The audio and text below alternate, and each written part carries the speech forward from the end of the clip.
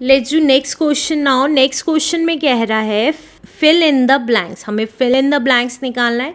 ये क्वेश्चन आप तभी कर सकते हैं जब मेरे लास्ट के क्वेश्चंस आपने देखे हुए हो। तो प्लीज़ उनको ज़रूर देखें। उनका लिंक मेरे डिस्क्रिप्शन बॉक्स में गिवन है। या आप मेरी साइट इन पर जाएँ।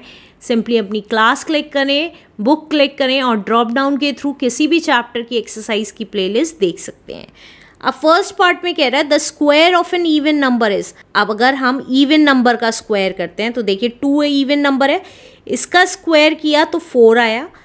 सिक्स का स्क्वायर किया तो हमारा थर्टी सिक्स आया। तो देखिए इवन नंबर का अगर स्क्वायर कर रहे हैं तो ये भी क्या आ रहा है आंसर इवन ही आ रहा है। तो अगर हम इवन नंबर का स्क्वायर करेंगे तो आंसर इवन ही आएगा।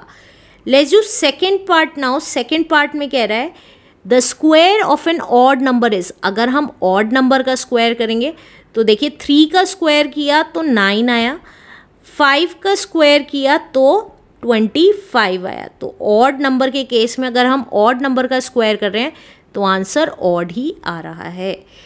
Let's do next part now next part में कह रहा है the square of a proper fraction is अगर हम प्रॉपर फ्रैक्शन का स्क्वायर करते हैं। प्रॉपर फ्रैक्शन कौन सी होती है? जिसका न्यूमरेटर छोटा होता है डिनोमिनेटर से।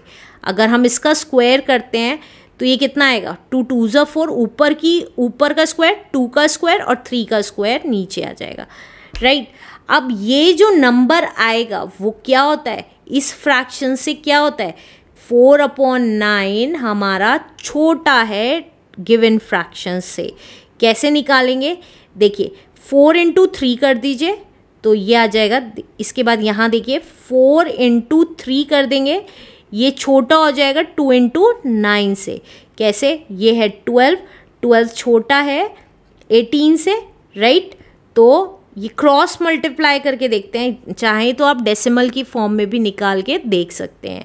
तो क्या होता है? प्रॉपर फ्रैक्शन का स्क्वायर स्मॉलर होता है। Smaller answer let's do next part now next part में कह रहा है n square is equals to the sum of first n dash natural number मैंने आपको बताया था एन स्क्वायर जो होता है, उसमें जो एन होता है, वो first n odd natural number का क्या होता है? सम होता है. नेचुरल नंबर का क्या होता है? सम होता है. तो यहाँ क्या आ जाएगा? Odd n odd natural numbers answer let's do next question now next question में कह रहा है write true for t for true and f for false for each of the following statement given below हमें true और false करने हैं तो first part में कह रहा है the number of digits in a perfect square is even क्या अगर हम परफेक्ट स्क्वायर किसी भी नंबर का करते हैं तो डिजिट्स जो आती हैं वो इवन ही आती हैं तो देखिए अगर मैं टू का स्क्वायर करूँगी तो फोर आएगा। फोर कितनी डिजिट्स हैं? एक डिजिट है तो ये तो ऑड हो गई डिजिट अगर इसी तरीके से मैं टेन का स्क्वायर करूँगी तो हंड्रेड आता है। तो ये तो तीन डिजिट हो गई तो ये इवन e- नहीं हुई ऑड हो गई तो hence this statement is false let's do next part now next part में कह रहा है the square of a prime number is prime क्या प्राइम नंबर का स्क्वायर करेंगे तो प्राइम ही आएगा। तो देखिए थ्री एक प्राइम नंबर है थ्री का स्क्वायर किया तो नाइन आया। तो प्राइम नंबर का स्क्वायर करने पे प्राइम नहीं आता है। नाइन प्राइम नंबर नहीं है नाइन ऑड नंबर है। तो hence this statement is also false let's do next part now next part कह रहा है the sum of two perfect squares is a perfect square क्या दो परफेक्ट स्क्वायर का सम परफेक्ट स्क्वायर ही होगा? तो देखिए, दो परफेक्ट स्क्वायर कौन से हैं?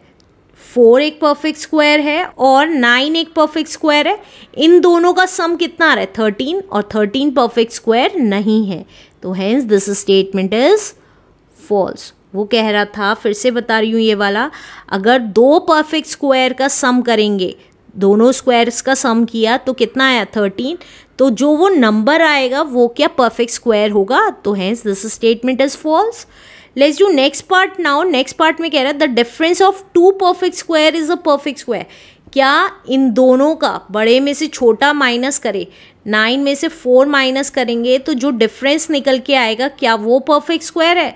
तो वो भी परफेक्ट स्क्वायर नहीं है तो hence this statement is also false अब लास्ट पार्ट में कह रहा है the product of two perfect square is a perfect square अगर हम दो परफेक्ट स्क्वायर का प्रोडक्ट करें, अगर हम फोर और नाइन का प्रोडक्ट करें तो हमारा थर्टी सिक्स आ रहा है और थर्टी सिक्स परफेक्ट स्क्वायर है सिक्स का राइट तो हैंस हमें पता चल गया, अगर हम दो परफेक्ट स्क्वायर का प्रोडक्ट करेंगे तो आंसर हमारा परफेक्ट स्क्वायर ही आएगा। Hence this statement is true answer